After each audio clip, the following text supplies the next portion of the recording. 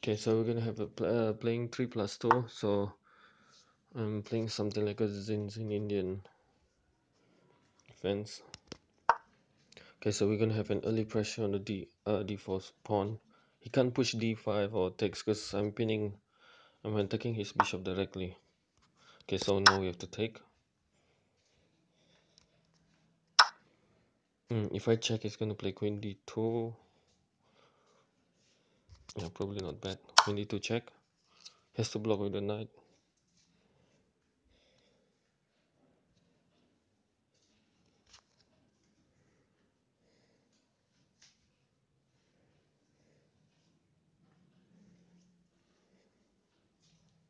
Okay, so now the question is, if he plays bishop c3, should I play knight b4? Knight b4. Okay, so there was a problem there. I was thinking, what if he plays knight b4? So I'm going to play knight f6. If he plays d, oh, okay, um, castle first. Okay, so now we are king safe, so we can go all out on an attack.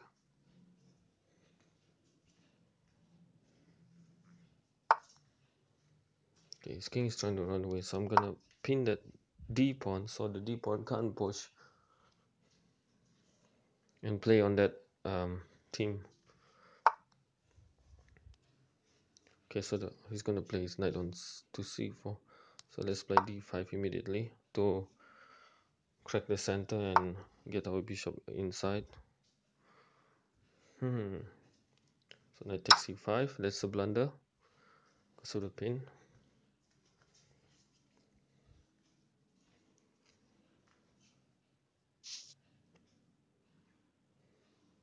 Now I'm trying to develop my bishop. Yeah, that's a good idea. I'm just going to take it immediately. So now my rooks are connected here, so bad pawn structure. But how are we going to exploit this?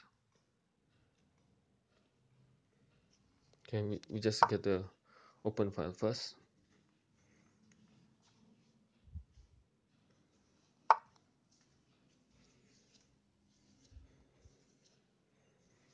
What's going to it going to do like manual castle or something?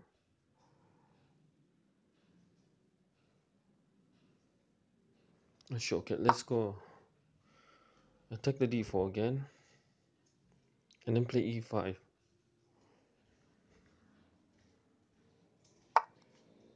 Sorry, defense. Okay, we're gonna play e5. Now, we're gonna exploit the pin on the d4 pawn. Now he's finished.